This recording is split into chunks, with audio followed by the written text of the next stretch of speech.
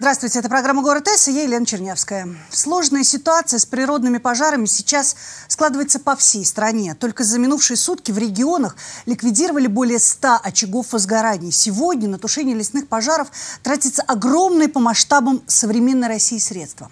В самые горячие месяцы практически все организации лесной сферы страны переключаются на борьбу с пожарами и вынужденно оставляют все остальные дела. Вот казалось бы, что можно сделать, ведь а, стихийные пожары мало зависят зависит от воли человека. Однако это совсем не так. Дело в том, что именно люди – причина подавляющего большинства возгораний в лесах. Именно неосторожность людей – главная причина всех этих бедствий, которые приносят пожары. А значит, в первую очередь нужно бороться с неосторожностью людей и умышленными поджогами. Вот сегодня это тема нашей программы. Я представляю гостя в студии Владислав Валерьевич Садовский, заместитель начальника Главного управления МЧС России по Самарской области, начальник управления надзорной деятельности деятельность и профилактической работы. Здравствуйте, э, Здравствуйте, Владислав Валерьевич. Я приветствую вас в этой студии. Во-первых, хочу сказать огромное спасибо, что нашли время, пришли в ваше горячее время побеседовать на эту тему. Ну и, конечно, в первую очередь предупредить наших жителей, ну и сказать какие-то очень важные слова о своей работе. Так вот, давайте начнем. Я хочу первый вопрос вам задать с актуальной э, очень проблемы. Да, вот в Тольятти Совсем недавно произошел крупный пожар. Какова сейчас ситуация в Тольятти? В Тольятти ситуация сложилась таким образом, что, к сожалению, причинами пожаров, которые там зарегистрируются органами дознания, да. всего их 14 в настоящий момент, более половины это поджоги являются, именно поджоги. Вторая часть этих пожаров, из-за чего произошло, это неосторожного обращения с огнем. Вот. Масштабы последнего пожара, они, конечно, не превзошли по по своей, так сказать, масштабности угу. пожара 2010 года, когда сгорело раз, наверное, в 7 больше, чем сейчас, на прошедшей неделе. Но сам, са, сама ситуация развивается по тому же сценарию 2010 года. Угу. Это, в принципе, и место возникновения пожара, оно там на расстоянии там, около километра всего лишь находится. От города вы имеете в виду, Нет, да? от того места, где от было в 2010 места, году, когда начались пожары. Вот. Вы сказали поджоги э, и неосторожное обращение с огнем людьми, верно? Я понимаю, Совершенно то есть верно. это какие причины? Это люди пришли на пикник, не затушили костер, либо э, оставили бутылки, от которых тоже может э, произойти возгорание. Вот. Что, какие причины? Наверное, неправильно скажу, но, к сожалению, это вот именно не от, не от пикников. Так. Не, не от того, что люди пришли и отдыхают, вот, а просто от того, что, скажем так, из хулиганских побуждений. Mm -hmm. Вот, наверное, из самонадеянного такого расчета, что вот он порезвится с этим огнем, посмотрит, как трава горит, как ветки горят. И потом уже в какой-то момент ситуация выходит из-под контроля и начинается развитие пожара. Каким образом, а, вы сказали, что происходит ну, некое дознание, да, а, следственное дело заведено, а каким образом вот можно или, к сожалению, нельзя обнаружить вот а, тех э, преступников, я не побоюсь этого слова, которые э, намеренно поджигают леса. Камеры в, да, в лес не установишь, поэтому вот каким образом ведется... Ну, вообще на территории Тольятти mm -hmm. работает виде, это система видеонаблюдения, да. лесной дозор, 13 камер установлено в городском округе Тольятти. Вот, и единая дежурная диспетчерская служба, скажем так, на постоянной основе мониторит ситуацию, угу. смотрит, есть ли задымление или нет задымления. Собственно говоря, вот во время тушения пожара крупного, который был, в воскресенье. В субботу, в воскресенье, в понедельник. Еще в Комсомольском районе было обнаружено два загорания. И вот при выезде на место было установлено три очага пожаров. Ну, там явно угу. люди не отдыхали, а просто вот, опять же, там умышленно они подожгли, или из хулиганских, или побуждений, там, просто чтобы, как я уже говорил, развлечься. Все это дело будет установлено в ходе проверки по фактам этих загораний. Хорошо, спасибо. Давайте продолжим дальше. А, скажите, пожалуйста, а вообще ситуация по нашему Самарскому региону какова на сегодня? И какие бы вот а, места а, вы бы обратили на них особое внимание, вот, которые находятся у вас лично и у ваших сотрудников вот пристальным контролем? В этом году, к сожалению, в Самарской области произошло больше пожаров, чем за предыдущие годы. Вот в настоящее время органами дознания МЧС России зарегистрировано 77 сообщений о лесных пожарах. Общая площадь, которая пройдена была огнем по лесным насаждениям, составляет около 290 гектар. Угу. Вот. Наибольшее количество зарегистрировано это в городские леса, это Тольяттинское лесничество, 14 случаев, Новобаянское лесничество, это уже земли лесного фонда, 10 случаев, Красноярское лесничество, 9 случаев, особо охраняемые природные территории, Национальный парк Безлугский Борг, 14 случаев. Основные причины пожаров — это около 57% от общего количества неосторожное обращение с огнем, 21% это грозовые разряды, Угу. И более 14% это поджоги. Ну, это вот общая картина. Общая статистика. Общая статистика такая. Да, но возвращаясь все-таки к пожару в Тольятти и пожару серьезному, а, давайте мы посмотрим, как это было. У нас есть видеосюжет, и, конечно же, я предлагаю его сейчас посмотреть.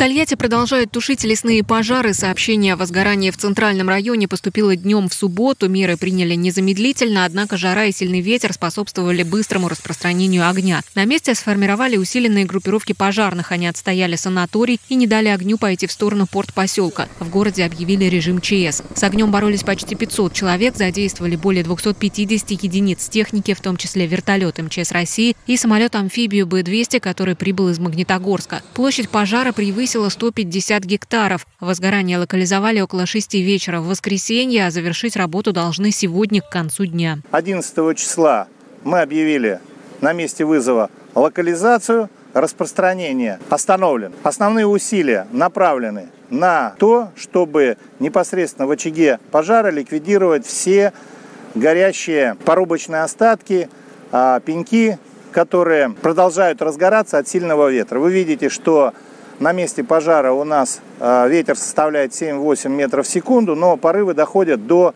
15 метров. Сейчас у нас а, работает более 210 человек личного состава, которые работают исключительно с ранцевыми огнетушителями, которые непосредственно идут по территории и производят проливку по факту возникновения огня проведут проверку, возбуждено уголовное дело. Губернатор Дмитрий Азаров пообещал, что на восстановление тольяттинских лесов из областного бюджета выделят дополнительные средства. На территории города создадут и отработают систему видеонаблюдения и фотоловушек.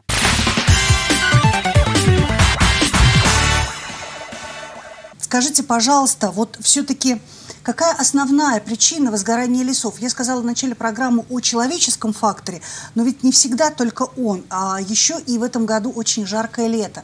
Как-то погода еще способствует вот, увеличению вашей работы, к сожалению? Ну, погода, особенно ветреная, она способствует быстрому распространению пожара, то есть увеличиваются, скажем так, масштабы это, это, это, этой, угу. этой трагедии. Да. Не, не, не, не поскуплюсь на эти слова, потому что на самом деле это трагедия. То, что вот в Тольятти с лесом превратилось, ну, как говорится, и через свое, через себя это пропускаю, потому что я из Тольятти, все детство в Тольятти провел, и в этом лесу занимался лыжным спортом. Mm. То есть все эти места, которые там пройдены огнем, мне знакомые, ну, и незнакомые сейчас, потому да. что уже ландшафт не тот. Многие там, конечно, не узнаю я, что произошло. Что говорить по природным условиям? к сожалению, сухая жаркая погода, это, конечно, способствует тому, чтобы возникали природные пожары. Но если бы люди, особенно люди, которые ответственны за обеспечение пожарной безопасности, будь то на объектах защиты или, или непосредственно э, уже в лесах, которые отвечают за пожарную безопасность, в полосах отвода железной дороги, автомобильных дорог, своевременно выполняли элементарные требования, которые необходимо выполнять. Это обновление мерилизованной полосы, это очистка от сухой травы, от э, вся, древесного хлама, от сухостоя, угу. от хвороста. Вот. Потом регулярное патрулирование. Возможно, что и не было бы таких трагедий. Вы сказали об изменении ландшафтного дизайна. Давайте посмотрим вообще на эту проблему шире.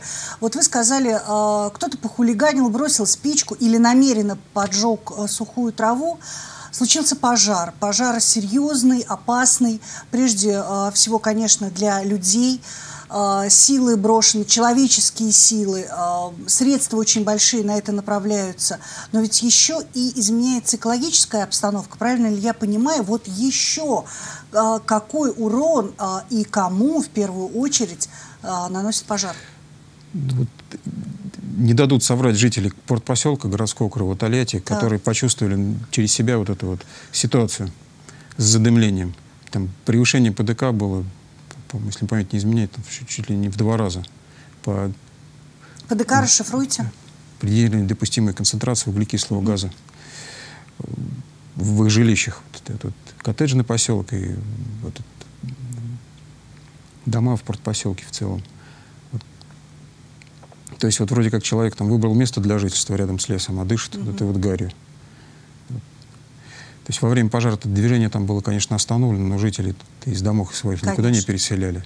Была угроза распространения пожара на санаторий Лесное, были подготовлены соответствующие средства для эвакуации, подготовлены пункты временного приема граждан, которые находятся на излечении в этом санатории.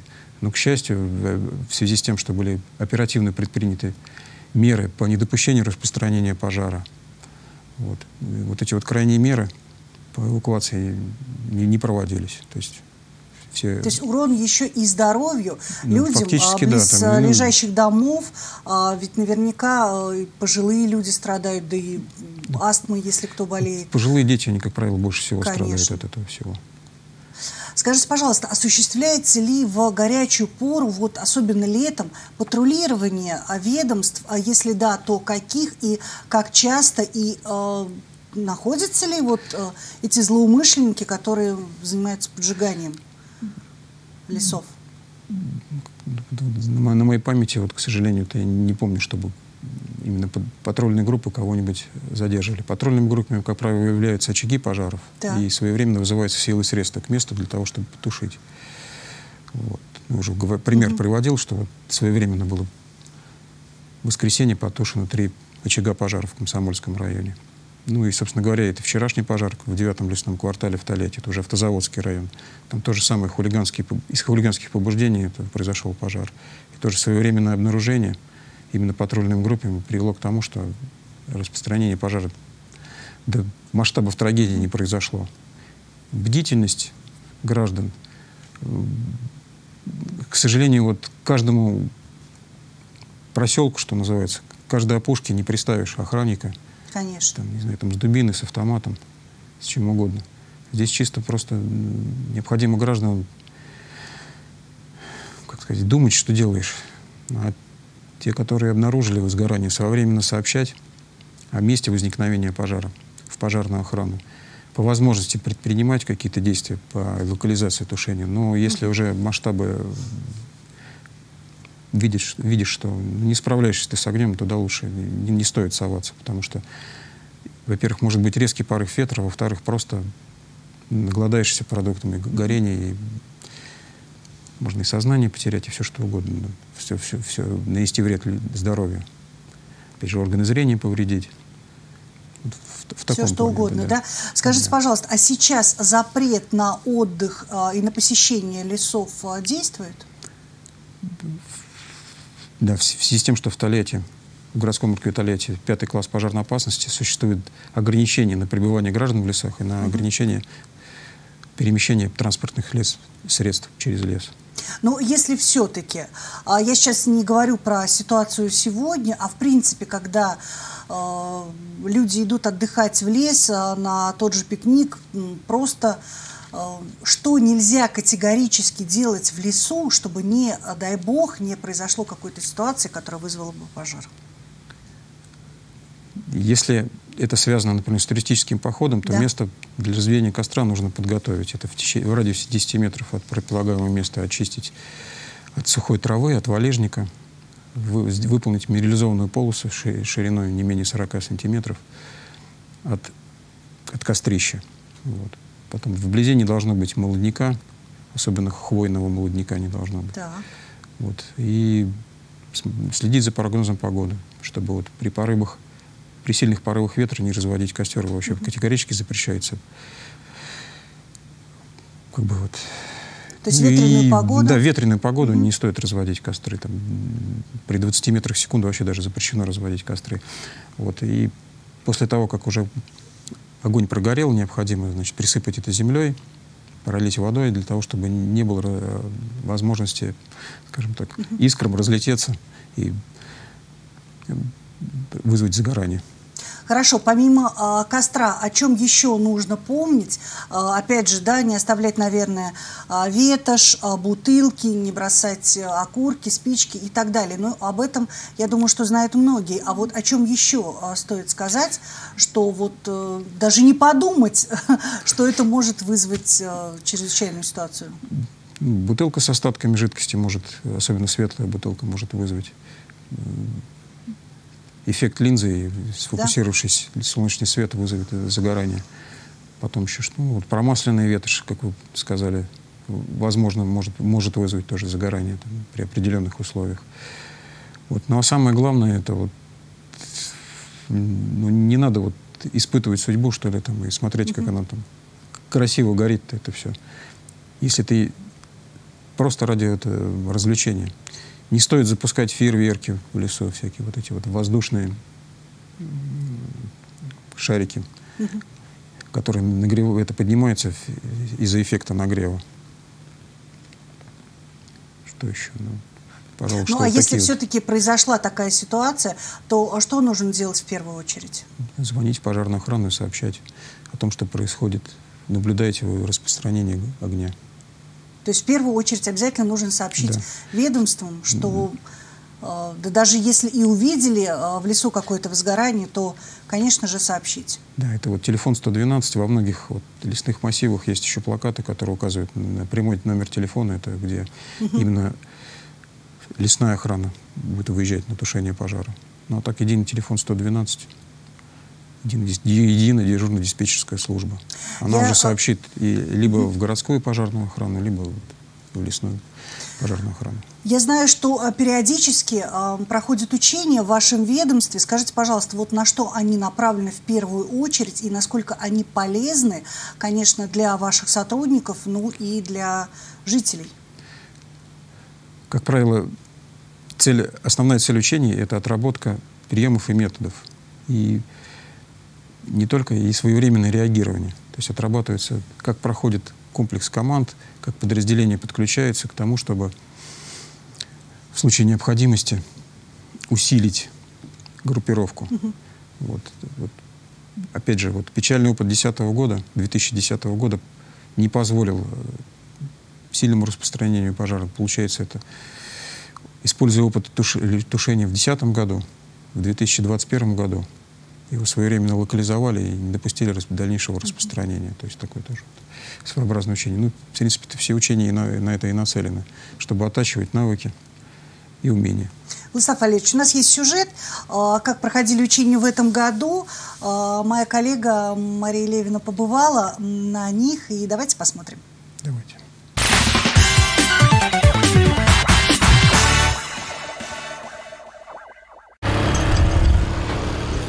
Одно неловкое движение и горит целый квадрат леса. По сценарию, который отрабатывают сегодня спасатели, из-за неосторожного обращения с огнем произошло серьезное возгорание зеленых легких Самарской области. На месте работают 80 человек и 18 единиц спецтехники. Как итог, практически за 10 минут пожар потушен. Но такой быстрый результат – это скорее удачное стечение обстоятельств. Предугадать, как себя поведет пламя в лесу, крайне сложно. Пожар в городе гораздо проще ликвидировать, нежели чем в лесу, потому как в первом случае можно прогнозировать практически его исход. Для этого подобрать необходимое количество спасателей и техники. Здесь, в лесу, такое планирование не сработает, потому что главная хозяйка здесь – природа. Охрану лесов от пожаров в Самарской области обеспечивают 16 подразделений МЧС. По области распределены 17 пожарно-химических станций. Таким образом, чтобы успеть вовремя среагировать на возгорание в самых разных уголках региона. Все станции укомплектованы специальной противопожарной техникой. На них работает порядка 400 человек. С началом противопожарного режима работы прибавляется. За прошлый год, к примеру, потушили 70 пожаров. За две недели до начала особого режима организация дополнительно принимает сотрудников. С ними для начала проводят профессиональный ликбез, а потом учения совместные учения с МЧС, с аварийно-спасательными службами, на которых мы будем отрабатывать именно действия по тушению лесного пожара и предотвращению его распространение на жилой сектор. Основная из причин – это неосторожное обращение с огнем. В осеннее время произошло ряд крупных пожаров э, ввиду устойчивой сухой жаркой погоды, а также э, сильного ветра.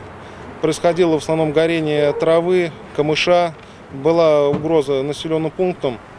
но угрозу своевременно все, все угрозы были сняты. Из-за аномально теплой весны пожарным уже пришлось немало поработать. С начала года леса горели уже 10 раз. В каждом из случаев замешан человеческий фактор, говорят спасатели, и призывают самарцев осторожнее обращаться с огнем. Я хочу напомнить, что буквально два года назад у нас на территории Красноярского района горели дачные участки, расположенные в районе населенного пункта Новосемейкина. Безопасность наших дачных участков, безопасность нашего жилища зависит от нас самих, от того, как мы будем выполнять требования противопожарного режима. А тем, кто предупреждение всерьез не воспримет, придется в лучшем случае раскошелиться на штраф в 5000 рублей. А если пожар признают поджогом, то отдыхающим грозит уголовная ответственность. С сегодняшнего дня в регионе действует особый противопожарный режим, при котором даже посещать леса запрещено. С этого года произошли изменения в правилах, и даже если посещение лесов разрешат, то жечь в них костры нет.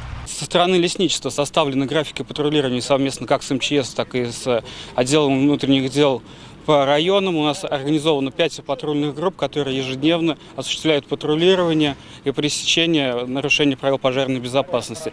В регионе 19 лесничеств. Каждый год происходит посадка новых деревьев, молодняка.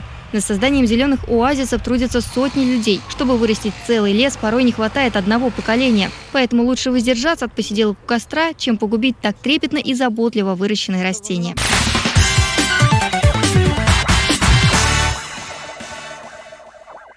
Вот очень часто приходится видеть, а, приходится слышать и читать в средствах массовой информации постоянно а, как бы гуляет эта информация, что у себя на дачных массивах люди жгут траву и так далее и тому подобное. Соседи страдают, а, дым распространяется, но э, дачники отвечают, что это моя территория, что хочу на ней, то и делаю, ваше дело страна. Вот скажите, пожалуйста, имеют ли право разводить а, костры на дачах и кто следит за вот этой ситуацией? Вот в условиях особого противопожарного режима Вообще запрещено разводить костры на территориях дачных массивов, на приусадебных участках, да. на территориях общего пользования.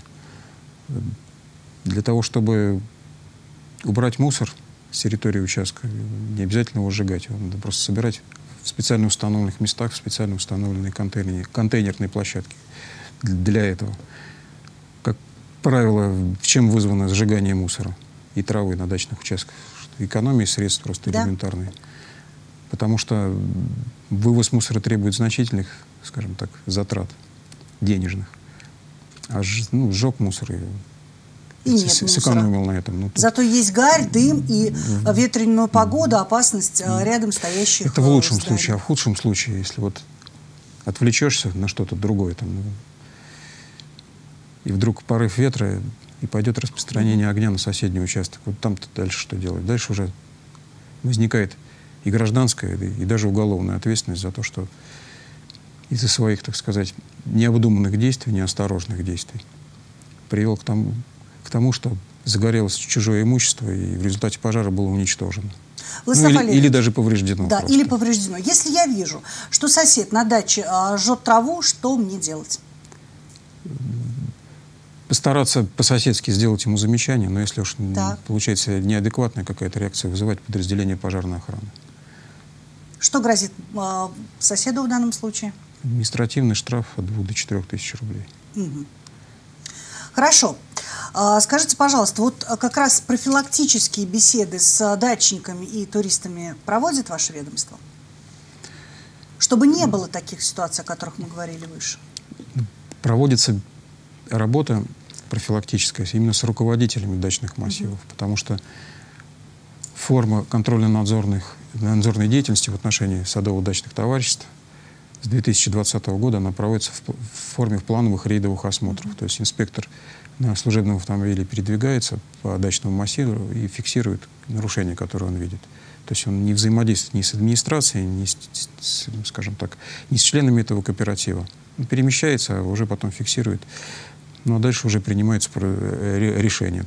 То ли о проведении выездной проверки в отношении этого, или же руководителю садово-дачного товарищества выдается предостережение о недопустимости нарушения требований пожарной безопасности, на которое он обязан в течение двух месяцев дать письменные объяснения об, об, об устранении mm-hmm. этих нарушений. Хорошо.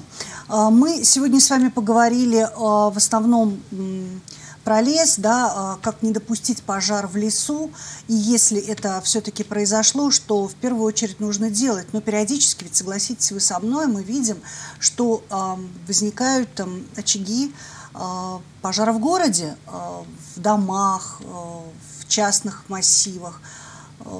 Да, вот этим летом мы наблюдали несколько таких серьезных возгораний. Скажите, пожалуйста, в связи с чем в основном они происходят, и если все-таки это произошло, что э, нужно делать? Как я уже говорил, алгоритм тот же самый, что и да. при возникновении природного пожара. Это вызов подразделения пожарной охраны во время звонка, надо назвать свое имя и фамилию, и место возникновения пожара.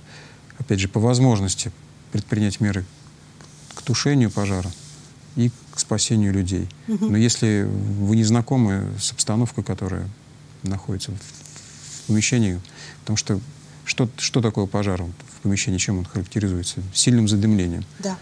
Чтобы самому там не остаться в этом помещении. Говорю, если не знаете этой планировки, там, там можно просто-запросто самому погибнуть. Конечно. Я попрошу вас все-таки дать главный совет, как избежать пожара и э, в первую очередь, на что сегодня, вот, э, когда у нас стоит такая жаркая погода, ветреная погода, э, на что нужно обратить внимание, ну и, может быть, дайте какие-то советы взрослым, ну и, конечно, подросткам, которые зачастую вот так вот, да, побаловаться, бросить спичку и посмотреть, а что же будет в итоге, а будет страшное. Поэтому, э, пожалуйста, несколько советов ограничить использование открытого огня, в том числе для приготовления пищи. Вот эти вот пик пикники, по возможности, ну и так жарко еще, костер разводить для того, чтобы шашлык жарить. Угу. Не стоит пока вот этим, так сказать, увлекаться. Во время походов я уже тоже совет дал какой, что следить за огнем, не отвлекаться, не оставлять его, что называется, без внимания этот огонь. Ну, подросткам уважаемые подростки. Ведь ваши вот действия, скажем так, вы, вы уже не дети.